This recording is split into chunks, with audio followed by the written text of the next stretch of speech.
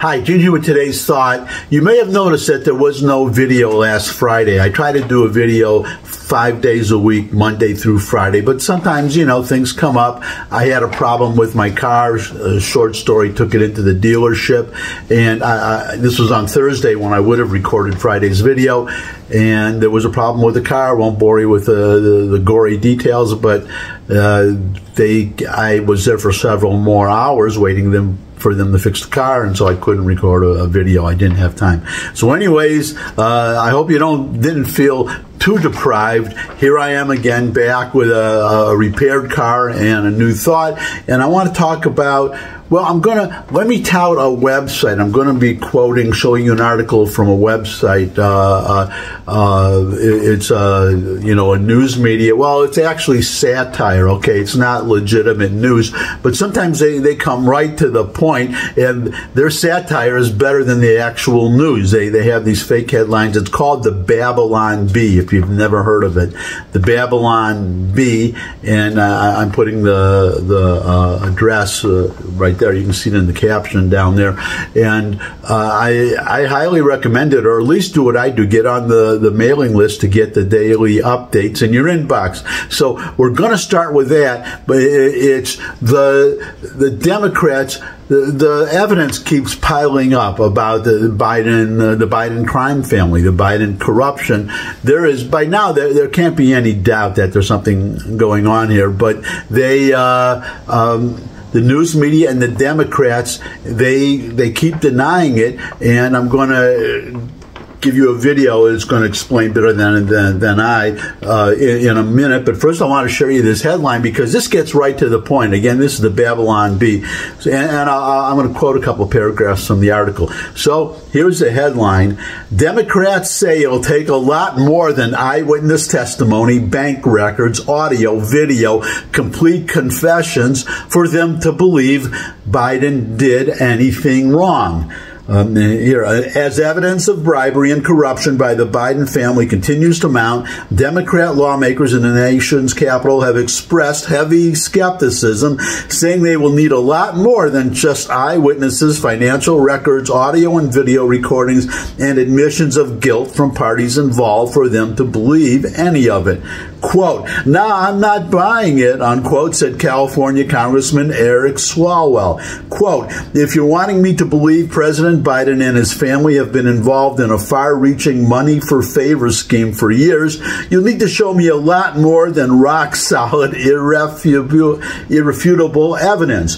If the Biden family was corrupt, I think I would have heard about it from my Chinese spy girlfriend, unquote and this would be Fang Fang. That was her, name or her nickname, in case you, you forgot about that or didn't hear about it, because the the liberal media. Um, liberal media have a tendency to bury news that's embarrassing to Democrats. But Eric Swalwell, uh, U.S. representative, he uh, he had an affair. He was sleeping with a Chinese spy, with a Chinese woman who he did not know was a, a Chinese spy, which is kind of a, a, tradition in the Democratic Party. I mean, not just you know necessarily sleeping with uh, Chinese spies, but you may remember. Well, again, it probably got buried, but uh, um, Feinstein, Dianne Feinstein, the, the senator from California, she had a driver driving her car for 20 years and the driver was a Chinese spy, spy for the Communist Party, and uh, Lord knows what conversations he he heard in, in the car as they're driving, because everybody's got a cell phone these days, right? So she's talking on the phone probably at least sometimes in 20 years, and he's hearing the conversations and relaying them to the Chinese Communist Party.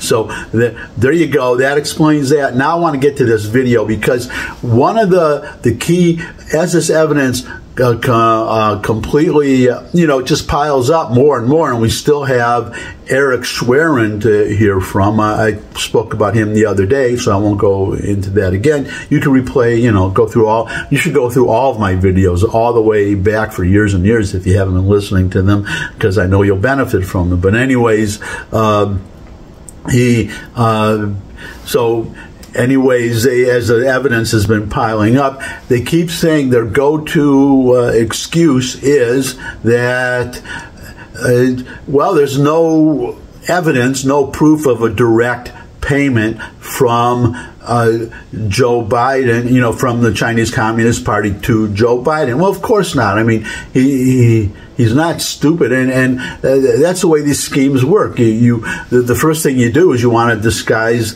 the the payment, but you have all you have now twenty million dollars and counting and going to the Biden's family.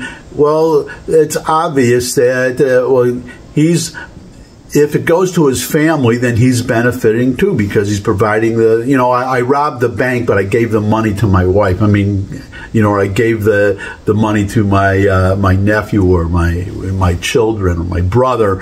It does it, it doesn't change anything. It's what the um, I, I, saw an uh, interview with uh, uh or read an interview with uh, uh, the for, former head of the FBI criminal division, and he, he said the, the term he used was something called stream of service. In other words, if somebody says they, they need something and so and so, you know, illegal, and the uh, so, you know this Joe Blow is able to uh, make it happen, and then it happens. There's your proof. So, uh, well, I've gone on enough because Jonathan Turley, you probably have seen him a lot. He's on TV a lot. He's uh, a professor of law at um, George Washington University, and he was, uh, well, here it is. I'll just let him speak. Here is Jonathan Turley. Well, we've heard this drumbeat recently that uh, the media is now acknowledging that sure, Hunter Biden was selling influence and access, but it was an illusion. And there's no proof that Joe Biden got an envelope full of money or a direct deposit to his account. Therefore, there's nothing here. Democrats have constantly said stop asking questions because you don't have that type of direct evidence of benefits. Well, that's just ridiculous. I mean, obviously, all of these payments benefit Joe Biden. It's going to the Biden Family Fund. You know, Joe Biden is 80 years old. He's worth at least $8 million. He's not going to spend that. People at his age, his wealth, are largely preoccupied during these days with leaving a legacy for their children, for their grandchildren. This was a great benefit in that sense. Now, you also have emails that have references to paying some of Joe Biden's bills, arranging for free offices uh, and other expenses. But even putting that aside, to say that $20 million going to his children and grandchildren wouldn't influence him uh, or benefit him is just facially ridiculous.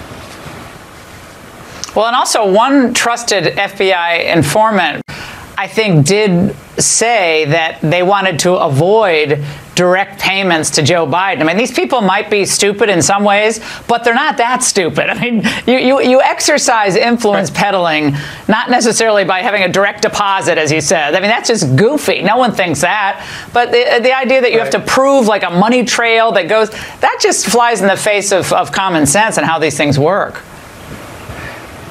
That's right. Being a crook doesn't mean you're a moron. And it would take a moron to do a direct deposit into an account uh, to the Biden family or send him some Zelle transfer. It's not done. The Bidens are very good at this. They've been in, a, in the influence peddling business for decades. There's been articles about not just Hunter, but the president's brother openly selling his access, according to critics. So they've been at this a long time. Hunter Biden himself told a Chinese counterpart, We're the at this. Tell the chairman. Well, they probably are. But here's the weird thing is that you've got this labyrinth of accounts, right? Two dozen different accounts that have no discernible purpose except to hide the money transfers going to the Biden family. And yet Democrats are demanding the one thing that is the least likely to appear that despite that whole apparatus to transfer money, someone was giving a direct deposit slip to Joe and Jill Biden. I mean, how crazy is that? Yeah. so we have to, I think, deal with the reality that this is what influence peddling is.